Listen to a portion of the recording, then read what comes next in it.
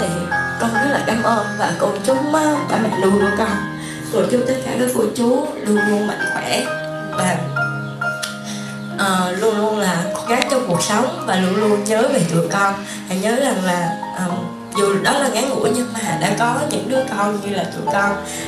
Có lẽ là có những đứa hư có những đứa rất là ngoan nhưng mà hy vọng là là ba mẹ luôn nhớ rằng um, tụi con là những đứa con rất dễ thương và lúc nào cũng uh, sẽ nhớ đến ba mẹ. Con xin cảm ơn rất là nhiều.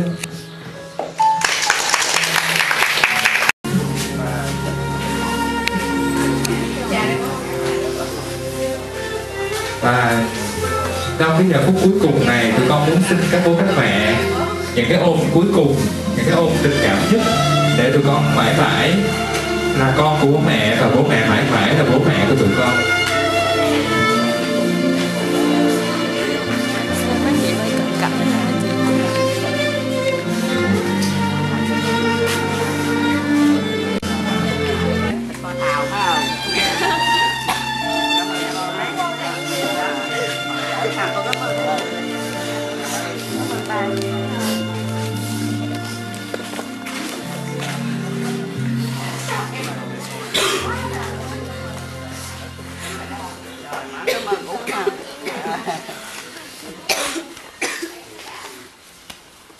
Rồi học con